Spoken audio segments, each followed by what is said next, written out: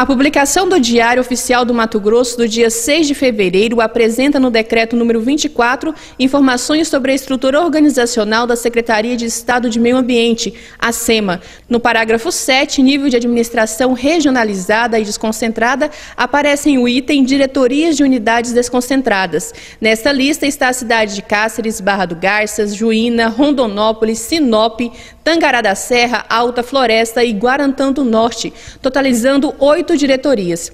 No decreto número 431, de 22 de fevereiro de 2016, também no parágrafo 7, nível de administração regionalizada e desconcentrada, aparecem no item diretorias nove unidades. A cidade de Confresa é uma delas.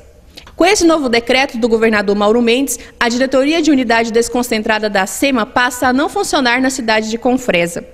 Ainda não há informações sobre a paralisação dos trabalhos e nem sobre o direcionamento de funcionários. O certo é que com essa decisão, a SEMA mais próxima será de Barra do Garças, cidade localizada a 750 quilômetros de Confresa. Vale ressaltar que a Secretaria de Estado de Meio Ambiente tem por finalidade promover o controle, a preservação, a conservação e a recuperação ambiental, bem como formular, propor e executar as políticas estaduais do meio ambiente, contribuindo para o desenvolvimento desenvolvimento sustentável em benefício da qualidade de vida do povo mato-grossense.